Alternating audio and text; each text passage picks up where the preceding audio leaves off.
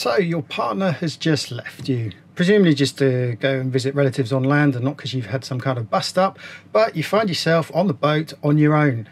So, what do you do? A, go into a marina and tie up and just get drunk down the bar every night. B, you find a nice, quiet little anchorage and you just hide away from everyone.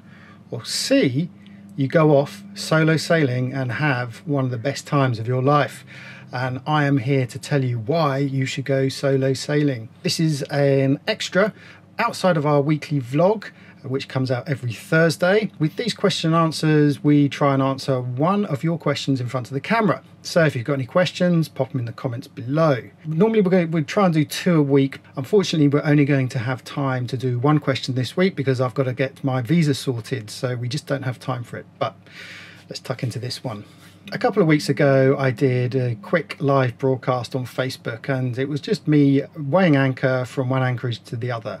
And we had quite a few questions that came through. There was one in particular from Phyllis Stacey who asked how safe it is to sail on your own. And someone else, and my apologies, I can't remember who it was, asked what's it like anchoring on your own. So I thought I'd come up with five reasons why you should go solo sailing. So when we first moved on to Esper all those years ago, I had never owned a boat before, much less actually skippered one. It was a very steep learning curve. I remember two years in, Liz had to return to the UK for the summer, and so I was on my own for two or three months. There was no way I was going to sit around on my own, although it could have been quite easy since the marina there was very comfortable. But a solo sailor friend of mine, a tough Kiwi called John, was telling me about his plan to sail the Dodecanese on his own and asked me if I wanted to come along. So I figured, well, why not? It's going to be good practice. On the very first day, I made a grave error with uh, my anchoring technique and ended up dragging in the middle of the night and dragged onto another boat and smashed the solar panel. So I was completely horrified. I was this close to turning around and going back to the marina and tying the lines and waiting for Liz to return. But I didn't. I actually made the point of pushing myself and continuing on that journey, which eventually was a really, really good, fun two months in which I learnt loads.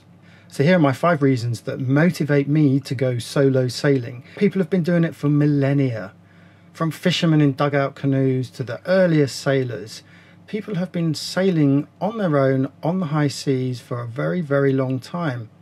Now, think of the first person who sailed around the world solo, Joshua Slocum. He did that back in 1895. Fast forward to the 21st century, and you have people like Ellen MacArthur and Dee Caffari who have been breaking records on their own at pretty young ages as well. Ellen MacArthur is my personal hero. I read her book, Taking on the World, when I was crossing the Bay of Biscay for the first time, and I, of course, was terrified. It was very early on in, in my sailing career and I didn't know what to expect, and I'd heard lots of nasty horror stories about the Bay of Biscay.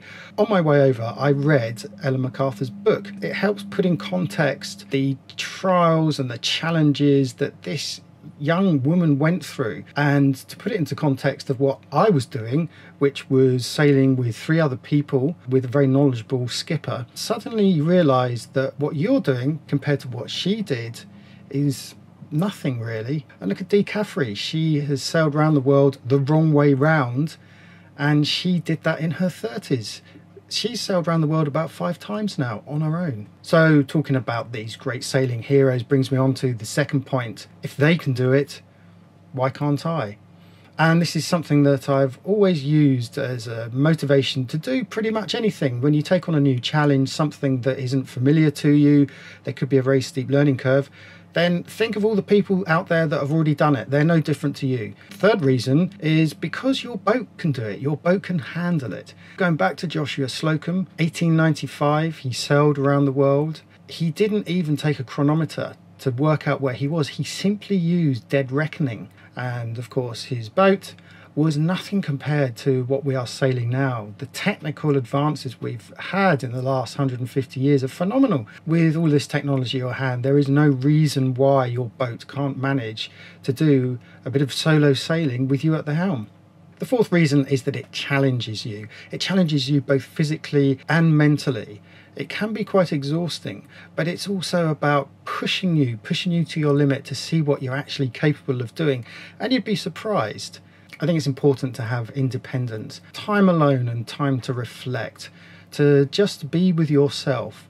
It's very cathartic and it's good for your well being, your mental well being. Even after sailing through a dead calm sea, when you drop the hook on your own, there is a sense of achievement. And finally, the fifth reason for going solo sailing is because you get the whole bed to yourself. Sailing is, of course, about adventure and more importantly, it's about that freedom. And when you're sailing with someone else, a partner or a family, that freedom is compromised to some extent. So there's nothing like being able to get up when you want, cook when you want, go sailing when you want, to have that complete freedom. It's one step beyond sailing with other people on a boat. To be sailing on a boat on your own is complete freedom. It's just nice to have that break, and we all need it sometimes. But if I'm honest, of course, sailing for me is all about sailing with Liz and Millie aboard Esper. So I don't necessarily choose to go solo sailing, but I found myself in situations where I've almost had to. The trick is just to embrace it, to say, yeah, come on, let's just see it as a challenge, to be positive about it. So, what do you think? Let's hand it over to you. Put your comments below. Let us know. Could you rise to the challenge? What do you reckon? We're after your questions as well. So if it's a good enough question, then perhaps we might answer it to camera. Don't forget to hit that subscribe button. And when you do, click that little bell so you get a notification when the next episode and when the next Q&A comes out. And also when eventually we start live streaming as well. Thanks for watching. Peace and fair winds.